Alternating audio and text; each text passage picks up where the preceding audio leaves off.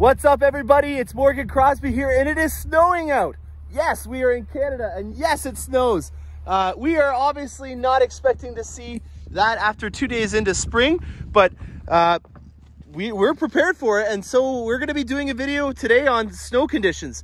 This is definitely something that um, I knew about that I didn't really um, have any time to tell anybody about yet, but I have seen the Corvette tested in the snow um, I have some firsthand experience uh, back in January when there was some test fleet vehicles going around. There was one that came to London, Ontario, and um, it had some Bridgestone Blizzak tires on it, and I was blown away with the performance of this vet.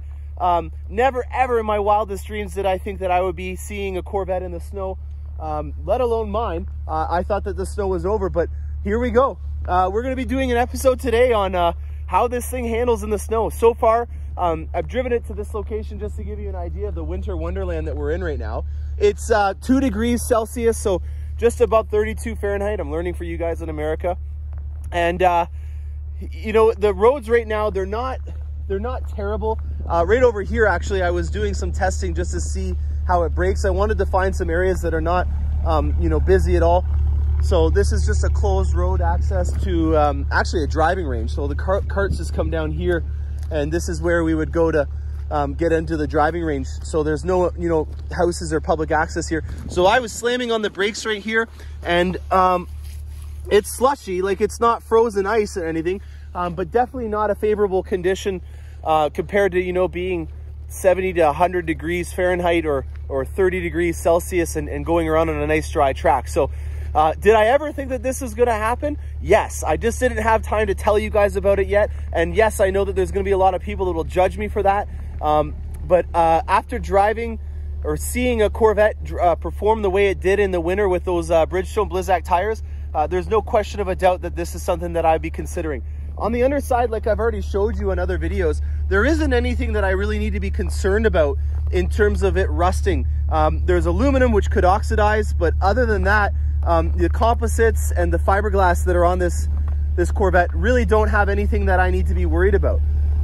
Man, it sucks to see this uh, Corvette in the, uh, in the snow all dirty, but luckily because it's spring and we haven't really seen any snow for a little while, there isn't any salt on the road. So that was another big uh, thing that made me, you know, not really too concerned about driving it today. Um, even if there was salt though, it's not gonna do too much. So let's go inside and learn some more about what it's like to drive in the winter. And coming to a complete stop. You'll see that it says ABS active and my traction control system went on, but uh, nothing really too issues there. Like that was very, very reasonable in terms of performance. Um, again, uh, just blown away. I think a lot of it has to do with the fact that there's a lot of weight over the rear tires. There's some more snow right here. We're just gonna accelerate to 50 and come to a complete stop. Nothing no issues. That is remarkable. Just the pickup and the acceleration that I'm able to have with this Corvette. Wow.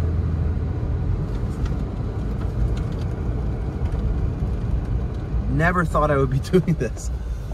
Nice tight turn radius again. Magnetic ride control, look at that. One, one, one turn does it. No three pointers here.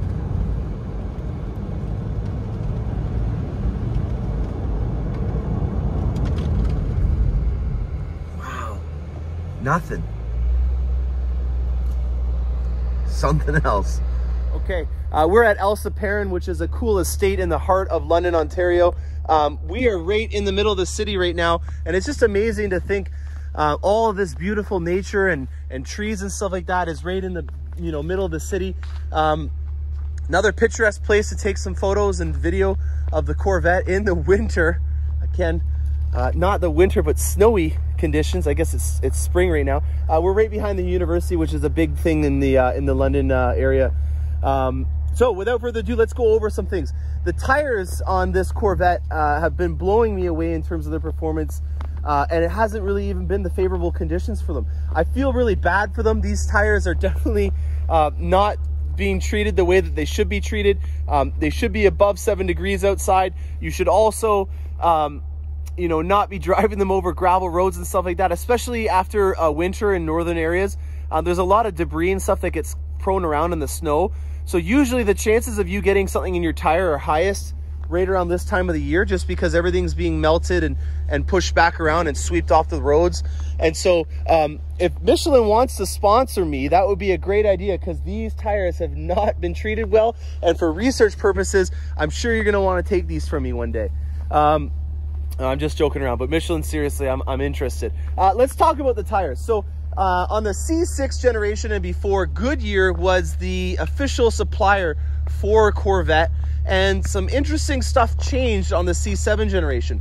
Michelin came to uh, Corvette and they basically said, we will develop a tire all around your vehicle if you give us the contract. And they accepted, and unfortunately, uh, Goodyear was not able to make the tire anymore, um, but they did get a consolation prize, and that was the Eagle F1 tire being put on the Camaro 6th generation. I had a 6th gen Camaro. It was a very hard compound.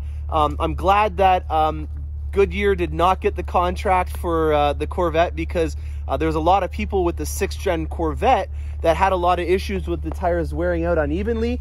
Um, and when you were on the highway, you were constantly having to correct it when the tires started to wear out. And that's one of the reasons why I love Michelin because with these tires, they wear out in a very even manner. It's not like I'm not gonna uh, ever rotate the tires. I obviously am gonna do the recommended amount, but when you have this vehicle able to, to wear out in a lot more even manner, it helps in prolonging the life of the tires. And that is the biggest thing that I look for when I'm looking at a tire in, in, terms of performance. I could care less how, how many G's you can pull in it over the other tire because at the end of the day, if one tire lasts twice as long as the other one and on the track it only has, you know, a tenth of a second difference, I'm going to go with the one that has a longer life just because these are not a cheap tire to begin with. And so I got to make the most bang for my buck. I'm not saying that the Michelin tire is not a good performing tire, but in terms of the life that you can expect out of these Michelins, it, it's it's far exceeding anything else. And that has a lot to do with how these vehicles were developed around this tire to begin with. And that's what you want to see. You want to see a tire company that is symbiotically working with uh, a manufacturing company when they're engineering the vehicle from the ground up. That that to me is exactly what you want uh, for from a cost benefit analysis and then also just from a performance perspective. Now, um, another thing that I want to note is I was on the other side here accelerating and uh, in this snowy conditions, uh, it did not have any issues whatsoever. And I want to, you know, maybe go into a little bit more detail of why I think that might be. And that has a lot to do with this puppy right here. The LT2 is right over top of the rear axle, meaning that there's 60% of the weight of this vehicle over the rear axle compared to the last one, which had 40%. So there's a 20% difference in the weight. And if you remember, we waited a couple uh, of days ago and it was 3,600 pounds. So do the math on that. That That's like, um, it's quite a bit. Someone do the math for me. I'm sorry, I'm a car salesman. I'm not a mathematician. Um, but yeah, just really interesting to see that the weight being over the rear of it has had no, um, no detriments to the performance. Uh, and if anything, it makes it so that I can perform even better in the winter. And so I will be driving this vehicle uh, around over the next few days, giving you guys some further analysis on what it's like. Hey guys, one last little tidbit, uh, pointing out the coverage of the uh, windshield wipers one more time from the driver's perspective. A um, couple cool little things that happen.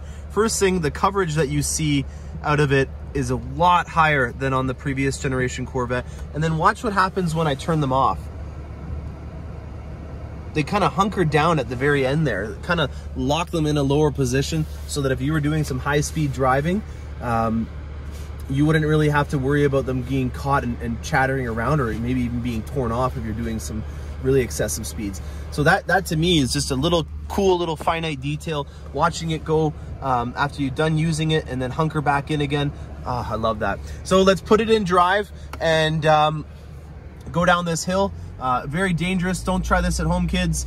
Uh, giving it a little stop, seeing and testing the, the amount of bite.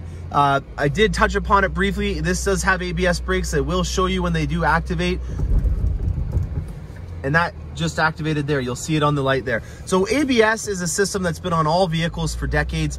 Um, it's using cadence braking or uh, pulsing of the brakes to uh, to allow you to not have them lock up. Uh, and it's a great technology to have as obviously it stops you from, from uh, crashing.